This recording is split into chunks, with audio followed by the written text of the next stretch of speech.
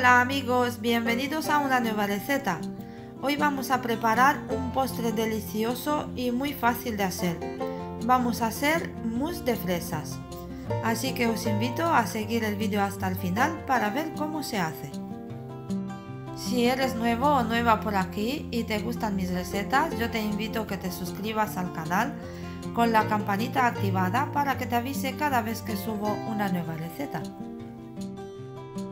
Vamos a ver los ingredientes necesarios para nuestro mousse.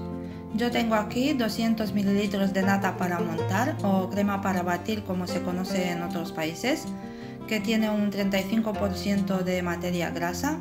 También tengo 200 gramos de fresas, dos hojas de gelatina neutra, 80 gramos de azúcar y una cucharada de zumo de limón.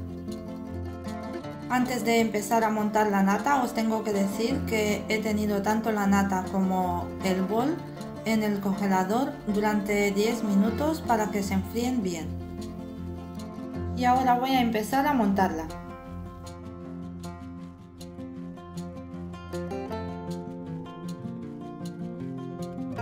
Cuando está por la mitad montada voy a añadirle la mitad de la cantidad de azúcar y voy a seguir batiendo.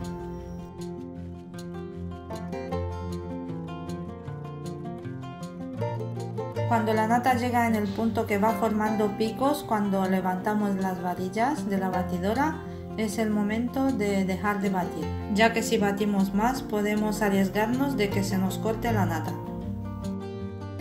Una vez que la nata ya está montada, la voy a llevar al frigorífico mientras que me voy a ocupar de las fresas. Tengo aquí las fresas lavadas, les voy a cortar los tallos y luego las voy a cortar en trozos más pequeños para poder triturarlas.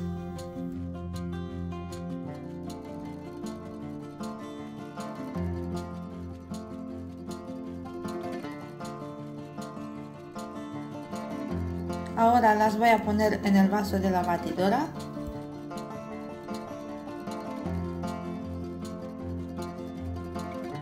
Le voy a poner también el zumo de limón, el resto de azúcar y voy a triturar todo muy bien.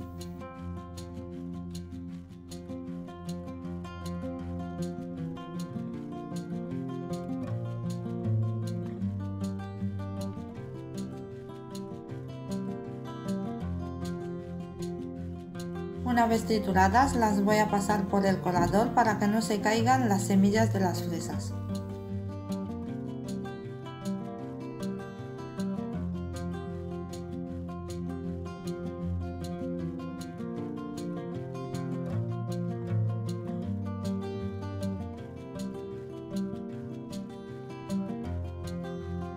Ahora voy a separar unas 4 cucharadas de licuado para poder disolver luego la gelatina.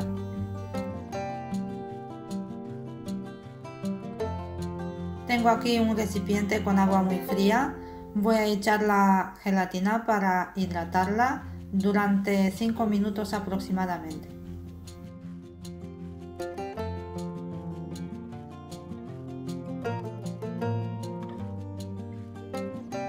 El licuado lo he calentado en el microondas durante 30 segundos aproximadamente a máxima potencia.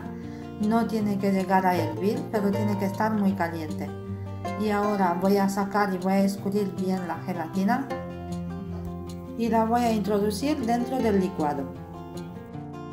Voy a remover hasta que se disuelve por completo.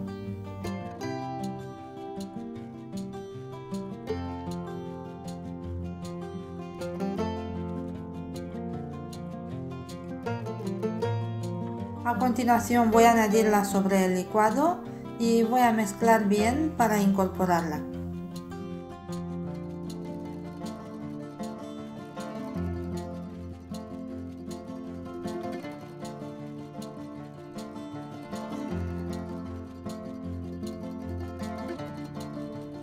Ahora voy a llevar el licuado para 5 minutos aproximadamente en la nevera para que se enfríe un poco.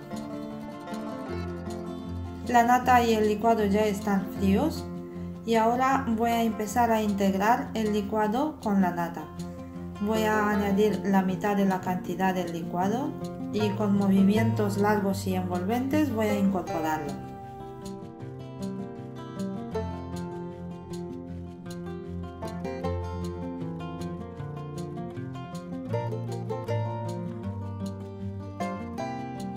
Voy a añadir el resto del licuado también y voy a incorporarlo de la misma manera.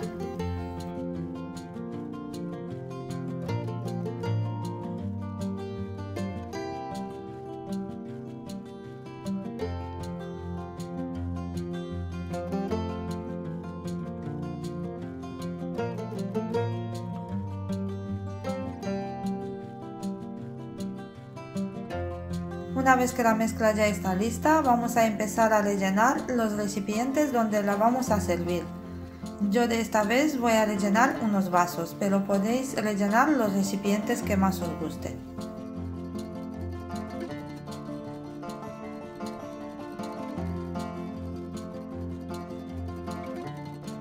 Ahora voy a tapar los vasos con film de cocina y los voy a llevar a la nevera donde van a estar unas 3-4 horas antes de servir, así se van a enfriar bien.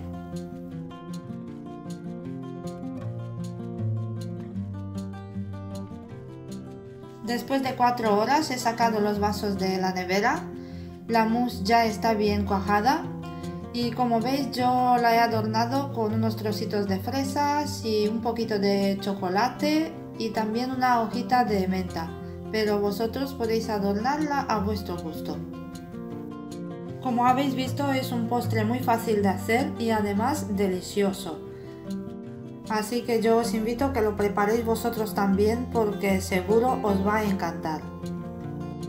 Amigos, hasta aquí la receta de hoy. Espero que os haya gustado y si es así, darle al like, compartir el vídeo y suscribiros al canal.